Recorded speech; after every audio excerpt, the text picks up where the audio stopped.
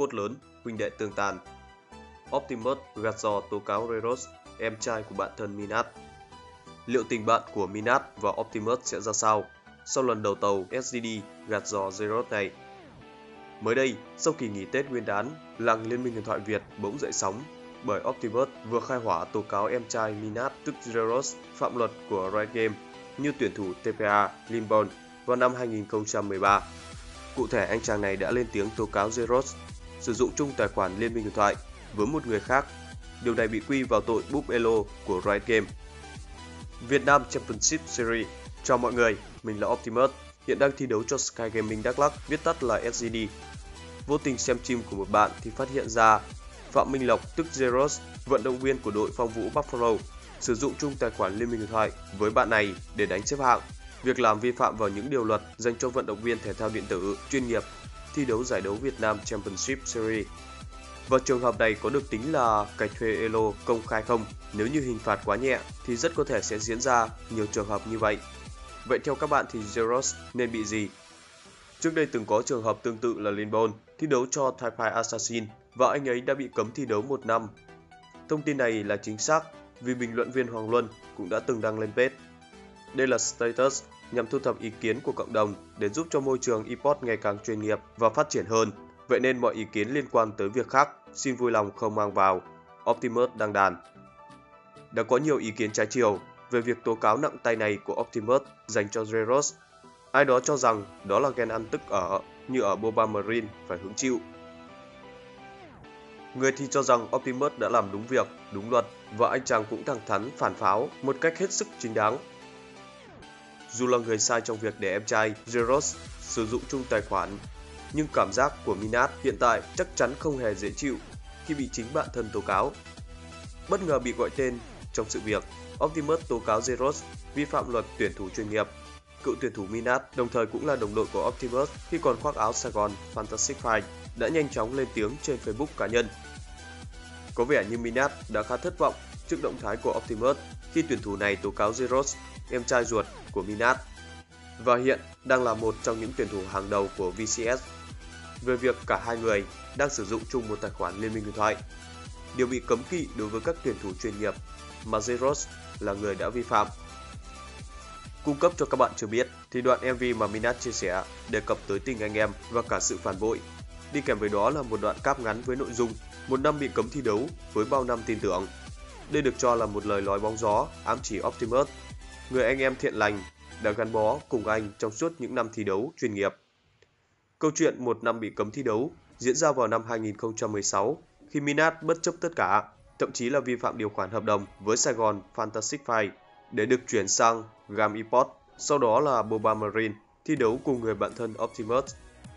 Minat và Optimus là cặp đôi bạn thân từ thời còn thi đấu trong SF5, nhưng kết quả là Riot Game đã đưa ra án phạt cấm thi đấu một năm với tuyển thủ này. Hy vọng được thi đấu cùng Optimus của Minat, sau đó cũng tan biến bởi sau một năm rời xa đấu trường chuyên nghiệp, cựu tuyển thủ này đã đánh mất phong độ và không còn đủ điều kiện để gia nhập GAM. Tự nhiên, giờ lại có động lực trở lại đấu trường chuyên nghiệp, team nào cần tuyển thì cho sim một slot nha. VCSB hoặc VCSA cũng được nha. Server Việt mới chỉ có top 13 thôi. Thông cảm, em không được cấp ạc, tập luyện server Hàn. Quay trở lại với vụ việc, sau đoạn status gây chú ý trên, thì Minat lại tiếp tục đăng tải một dòng trạng thái xoắn não kèm theo hình ảnh của tài khoản liên minh điện thoại của mình. Đây nhiều khả năng chính là tài khoản mà Minat đã cho em trai Zeros của mình sử dụng chung và cũng là một phần nguyên nhân dẫn đến vụ việc nói trên. Có lẽ không chỉ Minat mà ngay cả cộng đồng Liên minh huyền thoại Việt Nam cũng rất bất ngờ trước động thái của Optimus bởi trên thực tế thì Minat và Optimus từng biết đến là một đôi bạn thân trong làng game Việt và mối quan hệ giữa Optimus cùng anh em Zeros Minat cũng được cho là khá gần gũi và tốt đẹp. Ok.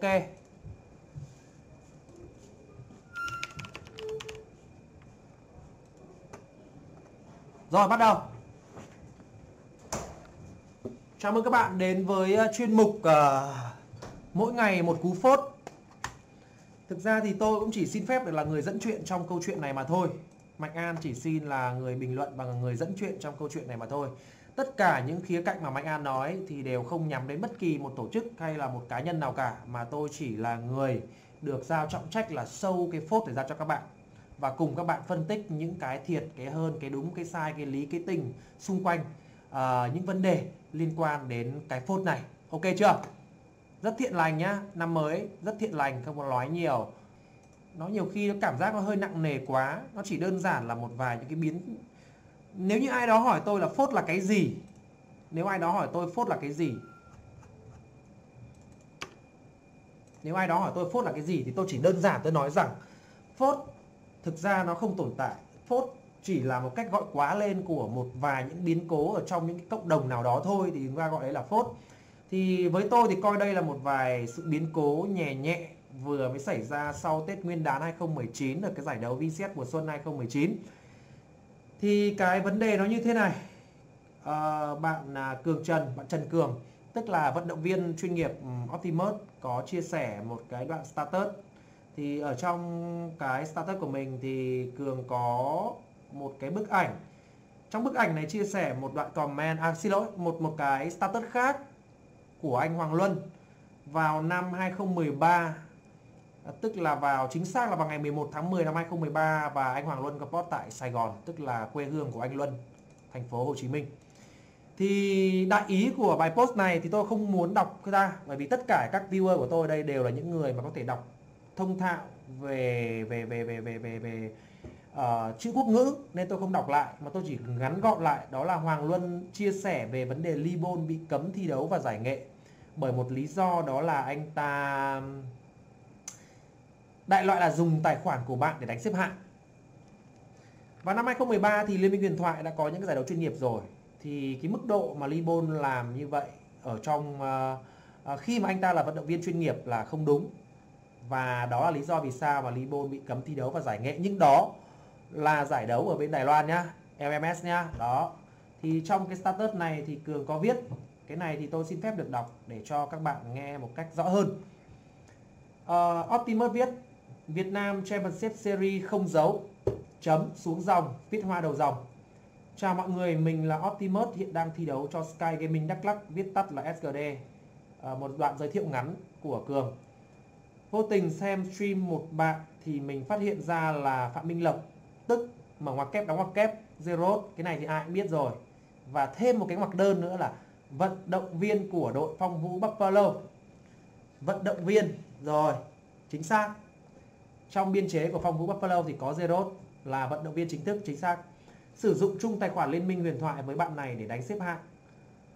Phẩy, việc làm vi phạm vào những điều luật dành cho vận động viên thể thao điện tử chuyên nghiệp thi đấu tại giải VCS, tức là tôi nói ngắn gọn đấy, giải đấu Việt Nam Championship Series. Và trường hợp này có được tính là cầy thuê elo công khai không? Một dấu hỏi chấm được đưa ra. Thì tức là thông qua cái status này thì Cường à, tức là Optimus đã muốn hỏi đến uh, tổ chức cũng như là nhà phát hành game thì trường hợp này của Zero là như thế nào? nếu như hình phạt quá nhẹ à bây giờ tôi đọc lại tôi mới phát hiện ra thêm. Phát hiện ra một điều đấy là thường thì sau dấu hỏi chấm thì chúng ta nên viết hoa. À, nếu như hình phạt quá nhẹ thì có thể sẽ diễn ra rất nhiều trường hợp như vậy nữa. Theo các bạn theo các bạn thì zero nên bị gì? Ok như vậy là trong status của mình thì ờ, có hai ý. Ý đầu tiên là Zerot muốn hỏi nhà phát hành thì cái việc làm của Lộc có tức là của Zerot có đáng bị lên án và bị phạt không? Và một cái nữa là là là Optimus hỏi chung chung cộng đồng là là là theo các bạn thì Zerot nên bị gì? Thì thôi được rồi, tôi sẽ trả lời câu hỏi hai luôn. Với danh nghĩa là một trong những người thuộc cộng đồng đi thì tôi khẳng định là Zerot nên bị phạt tôi nghĩ là Zerot nên bị phạt, bởi vì về lý mà nói thì Zerot không có một cái cái cửa gì để có thể bào chữa cho cái vấn đề sai lầm của mình. Ok chưa? Thì đấy, Optimus hỏi hai câu thì tôi xin trả lời câu hai trước. Là vậy theo các bạn thì Zerot nên bị gì? Tôi khẳng định là Zerot nên bị phạt, vì đây là môi trường chuyên nghiệp và cậu ta là vận động viên chuyên nghiệp. Cậu ta làm những thứ không chuyên nghiệp, cậu ta sẽ bị phạt. Còn câu hỏi đầu tiên là, trường hợp này có được tính là cầy thuê elo công khai không? Thì cái này thì bản thân tôi không đủ thẩm quyền để trả lời. Nó phải có được nhiều ý kiến của các thành viên trong ban tổ chức, giải đấu VCS cái này thì nó phải lên đến con số phải tầm à, 4 năm người cùng đứng ra để vận hành cái giải đấu VCS cái là ai thì tôi xin phép là không chia sẻ. Thế thôi, thì ngoài cái việc mà đưa ra bức ảnh, đưa ra câu hỏi, hai câu hỏi thì uh, cường trần có đưa thêm hai cái link youtube nữa như là để khẳng định thêm cái cái cái cái điều của mình nói. Thì cái này là hoàn toàn chính xác. Thì các cụ có câu là nói có sách và mách có trứng mà. Thì cường có gắn thêm hai cái link youtube ở đây là tôi thấy là cũng rất là chi tiết.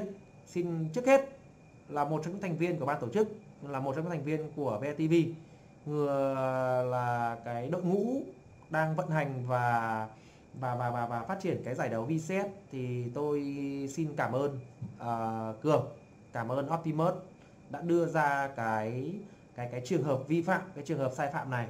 Đấy là điều chắc chắn. Trên khía cạnh ban tổ chức thì tôi xin cảm ơn bạn là bạn đã đưa ra được một cái vấn đề sai phạm và tôi hứa là chúng tôi sẽ xử phạt một cách hợp lý. Còn xử phạt như thế nào thì cách đây khoảng tầm à, uh, 15 phút 20 phút gì đó thì có một cái um, có một cái một cái uh, đây đây đây đây uh, đây đây đây. Có một cái công thông cáo có một cái thông cáo đi. Đấy là một cái thông báo của ban tổ chức. Uhm, xử phạt tuyển thủ Zerot về việc sử dụng tài khoản được chưa? Ờ, của người khác để chơi xếp hạng vào livestream thì đấy, ngay lập tức thì ban tổ chức đã ờ, thu nhận cái ý kiến của Optimus và ngay lập tức có những cái xử phạt ừ, ờ, lộc luôn. Đầu tiên là cảnh cáo. Cái này thì tôi nghĩ rằng là nó luôn luôn là cái khởi đầu cho tất cả những cái cái cái cái hình thức xử phạt là bao giờ có phải cảnh cáo trước đã. Và cái gạch đầu dòng thứ hai thì là đội phong vũ buffalo đây đây mới là cái ý chính này. Sẽ mất một lượt cấm cho tất cả các bàn đấu thuộc vòng VCS mùa xuân 2019 có nhiều người mà cũng không phải là nhiều người đâu mà rất nhiều người nói rằng đây là một hình thức xử phạt nó chưa thỏa đáng lắm hoặc là nói một cách khác là hơi nhẹ hoặc là chưa chưa chưa chưa thích đáng. Thì tôi chỉ xin phân tích một chút như thế này. Đầu tiên thì trong chuyên nghiệp thì cái việc mà mất một lượt cấm ở trong thi đấu chuyên nghiệp là cực kỳ là là là là không nhẹ. Theo ý kiến chủ quan cá nhân của một người làm bình luận viên lâu năm như tôi thì tôi nghĩ là không nhẹ. Tôi nghĩ là không nhẹ. À, nhưng mà có thể nhiều bạn sẽ so sánh cái status của Optimus với cái cái cách xử phạt của cái thông báo này thì sẽ có những cái sự so sánh là thế tại sao Libon lại bị phạt nặng như thế? Đến cái mức mà anh ta phải giải nghệ. Rồi là bị cấm thi đấu. Mà tại sao là một cái trường hợp gần như là tương tự thì uh, thì thì thì, thì Zerot lại không bị một cái hình thức xử phạt tương tự? Thì tôi nghĩ là câu chuyện nó sẽ đến từ nhiều phía, chứ không thể nào nó đến từ có một cái status đến từ cường được. Đây, chúng ta cần phải nhìn à, một một một một câu chuyện theo nhiều hướng khác nhau. Thì cường có ý đúng của cường. Còn ban tổ chức khi xử phạt như thế này thì tôi nghĩ là ban tổ chức cũng có những cái lý lẽ riêng của mình. Tôi có nghe những cái nguồn thông tin không chính thống nhá. Tôi nhấn mạnh là tôi có nghe những nguồn thông tin thông, không chính thống ở ngay trên cái live stream của tôi. Lúc nãy là khi mà đánh rank cùng với một vài người bạn thì có những người bạn chia sẻ rằng cái việc mà Zerot à, sử dụng tài khoản của Minat là để thực hiện một cái challenge một cái thử thách trong một cái chương trình uh, liên quan đến liên minh huyền thoại để phục vụ cho một một một, một cái buổi livestream. Để phục vụ cho một cái buổi livestream. Tức là nói một cách bộ bã và và nôm nôm na ra là Zerot và Minat hợp tác với nhau để livestream. Thì cái size duy cái cái sai cơ bản của họ là họ lại sử dụng tài khoản của nhau để phục vụ cái nội dung livestream. Nghe ra thì có vẻ là Minat Tech Zerot là là là là kiểu như là sử dụng tài khoản của mình đánh uh, sâu ra một cái trận sâu mét ở trong cái cái cái cái cái cái, cái buổi livestream. Đó. Đó đó. Tức là tôi muốn nói ngắn gọn ở đây là Optimus không sai. Nhưng nếu như nhìn từ hướng của Zero thì chúng ta sẽ thấy được rằng là cái việc mà sử dụng tài khoản của Minat thì thực tâm mà nói thì Zero không dùng để uh, leo rank hay là cầy cuốc gì cho Minat cả. Bởi vì các bạn nghĩ mà xem đang đang tôi đang nói theo khía cạnh là về tình nhá. Minat cũng là vận động viên đã từng là vận động viên chuyên nghiệp. Minat có kỹ năng rất là tốt. Và nếu như mà để cầy rank thì anh ta cũng không cần không nhất thiết là phải phải phải thuê thằng em trai của mình để cầy rank hộ để làm gì cả thứ hai là Zerot là em trai của Minat thì cái việc hai anh em ruột rủ nhau hay là hợp tác với nhau để tham gia vào cái buổi livestream thì tôi nghĩ là cũng bình thường và cũng logic mà thôi. Ngoài ra thì dẫn đến cái sai lầm đáng tiếc của Zerot và Minat thì nó đến từ cái việc thiếu suy nghĩ của hai em. Hai thằng còn khá là trẻ à, và cũng hơi ngáo ngơ khi rằng nghĩ rằng mọi thứ nó đơn giản nhưng thực ra nó không đơn giản. Bởi vì khi bọn em đã đủ 17 tuổi hay 18 tuổi để ký hợp đồng với một cái giải đấu chuyên nghiệp như là VCS thì bọn em phải tự ép mình vào một cái khuôn khổ. Các em không thể không thể xạo lìn, các em không thể làm những thứ mà các em thích, mà các em không chịu trách nhiệm. Thế nên là khi mà thằng Zedot nó nó nó tham gia vào cái buổi livestream của Minat, đúng rồi, nó đánh rank, tôi biết. Thì thế mới là sai. Chứ nếu như nó đánh thường thì chúng tôi phạt nó là cái gì, đúng không? Nó đánh rank là nó sai rồi. Thì đây là cái hình phạt mà theo ý kiến chủ quan cá nhân của tôi, cả về lý và cả về tình mà nói là chấp nhận được. Có thể là các bạn lại chửi tôi ok óc chó mạnh an lại uh, thiên vị hay như thế nào đấy. Thôi tôi cũng chịu. Nhưng uh, nhìn theo góc độ của tôi tôi nghĩ là xử phạt như thế này cả về lý và về tình là là ổn. Là ổn. Đó. Thế nên là nếu như thì à, sau khi mà cái thông báo được đưa ra thì tôi thấy rằng là bạn là bạn Optimus là có post thêm một cái à, cái gì đây để tôi để tôi nghe, để tôi nghe.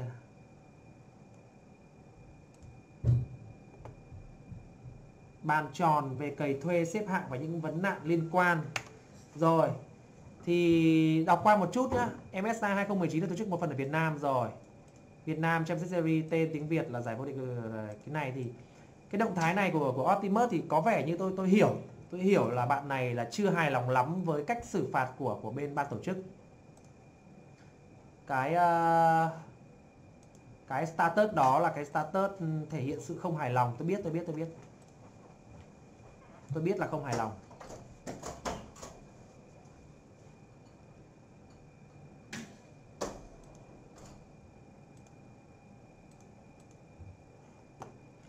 Nhưng mà biết nói thế nào nhỉ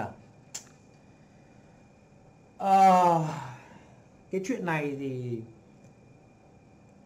nói là sai thì chắc chắn là Zerot sai. Thật. Tôi tôi tôi không bênh. Mặc dù tôi là fan của Phong Vũ nhưng mà tôi không bênh. Còn cái việc mà xử phạt như vậy đến từ ban tổ chức nặng nhẹ như thế nào thì đấy là do cái quan điểm của mỗi người. Tôi biết tôi biết là ý của Optimus là cũng muốn cấm Zerot khỏi cái giải đấu không cho anh ta thi đấu nữa vì những cái những cái lỗi lầm đấy. Về lý là không sai, về lý là không sai. Nhưng các bạn phải nhớ một điều nhá. Libon là thi đấu ở giải đấu MMS giải đấu của Đài Loan, Hồng Kông, Macau. Mà hồi đấy hình như là chưa có Đài Loan, Hồng Kông, Macau đâu. Hồi đấy là là cái giải đấu của cái đất nước Đài Loan thôi, nội bộ của họ thôi. Còn Zerot là thi đấu ở giải đấu VCS của Việt Nam. Hãy nhớ một điều là hai người họ khác nhau ở một khía cạnh là một người thi đấu ở giải Đài Loan một người thi đấu ở giải Việt Nam và cái cái nội quy của hai giải đấu tôi nghĩ rằng có thể là khác nhau có thể là khác nhau. Nên việc ban tổ chức ừ, xử lý như vậy thì nó có thể là quy áp theo cái quy chế của của, của VCS thì cũng có thể là dễ hiểu thôi.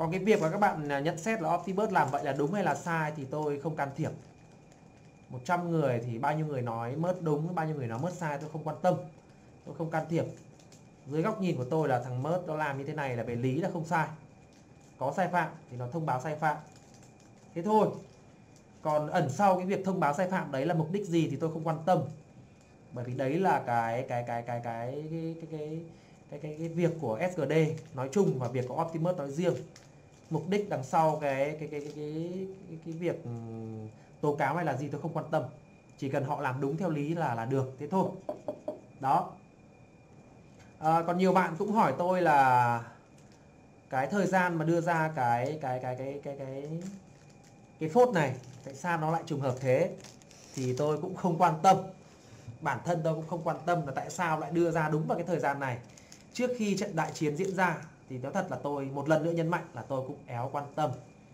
Cứ lý mà làm thằng Làm Zerot đúng làm quá. sai. Ừ thằng Zerot làm sai phạt thằng Zerot nói riêng và phạt cả team phong vũ Buffalo nói chung. Thế nên là tôi tin là phong vũ Buffalo cũng không dám cãi gì đâu. Không dám cãi gì đâu. Người ta làm đúng mà. Đúng. Không có gì là sai ở đây chắc cả. chắn là làm đúng không sai gì cả chứ còn tôi nghĩ rằng là qua chuyện này, khi mà mọi thứ đã được giải quyết một cách êm thấm rồi, êm thấm theo theo theo theo cái nghĩa của tôi, tức là ban tổ chức đưa ra quyết định cuối cùng. Ban tổ chức luôn luôn là người đưa ra quyết định cuối cùng và khi quyết định cuối cùng đã được đưa ra thì không có bên nào bàn cãi hết. Một là các anh tiếp tục hài lòng với những gì mà ban tổ chức đưa ra và tiếp tục thi đấu. Không thì thôi và tôi tin rằng cái hình thức cái hình thức xử phạt à, à, thanh niên uh, Zerot. Zerot là có thể trong đầu nhiều người là phạt nhẹ. Nhưng như đã phân tích là nó được nhìn từ hai khía cạnh là cả về lý và cả về tình. Thứ nhất là Zerot không cố tình cầy rank hộ anh trai mà chỉ để phục vụ một cái buổi livestream giữa hai người họ mà thôi. Đó thứ hai là cái sự việc bồng bột này nó đã dừng lại rồi nó đã dừng lại rồi đó Uhm, còn tôi cũng kêu gọi các bạn là cũng không đưa ra những quan điểm quá là khắc khe hay là nặng nề cho cả Zerot, cho cả Minat hay cho cả Optimus. Thế thôi. Bởi vì đấy, như đã nói rồi có gì đâu. Mỗi người có quan điểm riêng. Thì đấy là quan điểm riêng của họ. Blame họ làm cái gì. Hy vọng, tôi chỉ hy vọng thôi là cá nhân bạn Optimus và hy vọng là tập thể của SGD sẽ, một phần nào đó sẽ hài lòng với cách xử lý của chúng tôi. Còn nếu như cách xử lý của chúng tôi mà khiến cho cá nhân bạn Optimus và SGD không hài lòng, thì tôi cũng không biết phải nói gì cả. Nhưng quyết định của ban tổ chức là quyết định cuối cùng. Thì hy vọng là các bên tham gia liên quan vào cái vấn đề này sẽ hợp tác một cách à, vui vẻ. hợp tác một cách vui vẻ. Đừng quên nhá, một lượt cấm ở trong thi đấu chuyên nghiệp rất là nặng, đúng không? Một lượt cấm trong thi đấu chuyên nghiệp mà không được cấm là ba lượt ban bạn chỉ được một à chỉ được hai bạn mất một là rất là nặng. Chẳng qua là nó đúng người đúng thời điểm ấy là nó, nó hơi người chú ý thôi. Đúng đúng. Hùng nói cái này thì anh đồng ý. Tức là nó chỉ hơi hơi hơi đúng người đúng thời điểm nó hơi nhạy cảm một tí thôi. Chứ tôi khẳng định thằng mớt nó không làm gì sai cả nhá. Không sai